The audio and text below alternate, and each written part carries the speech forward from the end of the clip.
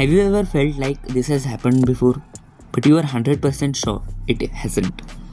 That strange glitch is called deja vu. But what if your brain is playing a sneaky little trick on you? It starts with a tiny hiccup in your brain's firing. Normally, your brain stores and sorts memory smoothly.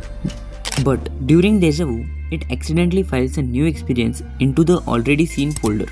And boom! You feel like you are in a replay of life. Now here's where it gets weirder. You try to remember when this happened before, but there's no memory. Why? Because it's not memory at all. It's a moment of confusion between two brain systems.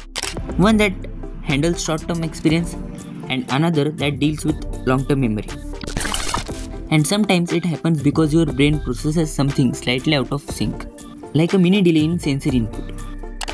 One eye or ear gets the signal milliseconds before the other, and that tiny gap is enough to trick your brain into thinking it's a memory. So, next time you feel a deja vu, don't freak out. Your brain just lagged like a Wi Fi router in a storm. But hey, at least it's trying its best.